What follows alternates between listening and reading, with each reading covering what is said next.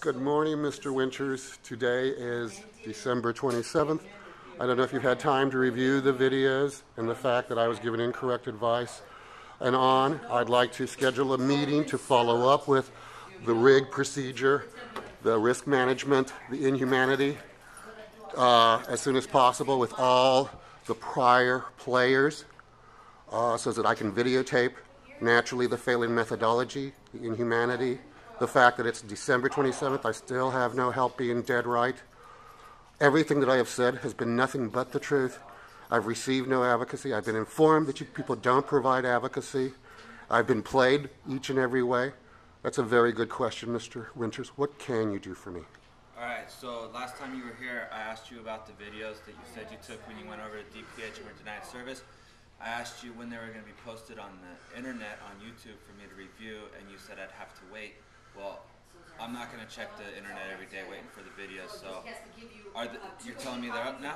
Yes. All right, when I get a chance, I'll review them. I'll put it on my list of things to do. It's not a priority for me. It's not a priority. After everything that I've been through, I'm still not a priority. We've done everything we can Yes, naturally. This is a case So closed now, is isn't it? No, no, no, sir. My issue is with you guys who gave me the incorrect information, who denied me.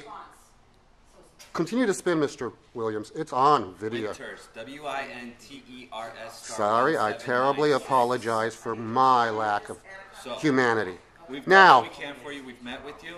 The sheriff has met with you. We've gotten people from the mayor's office of disability. We've gotten people from DPH to meet with you. You were told you'd go over there. You had access to the clinic. Whether or not you were allowed to videotape was up to the doctor assisting you. So you've had the opportunity. now is that your spin? What about the sheriff's that's what officer was who said came the out and meeting. told me that there was a restraining order against me? Back in August, No. There's no restraint. You were told at the meeting there was no restraining order. Thank you. Apparently, that didn't filter down to the officers, you know, when I went in seeking services who said there was. So apparently, your office doesn't know how to even Which filter down. Which officer? Ask the sheriff's officer. It's on YouTube. You will see the interconnection. You will see Can the you tell me interconnection. which deputy? I'm not going to go looking on the internet. Of course not. Of course not. That would be Mr. Garza? advocacy. That would be help. Now, I also would like to be walked Can you give across the moment, street. please? Sure. Okay, yeah, because see, the thing is, a petition without the summons invalid. So now, but I'm saying, I can take it as is, how So- you want it. I don't think much more needs to be said.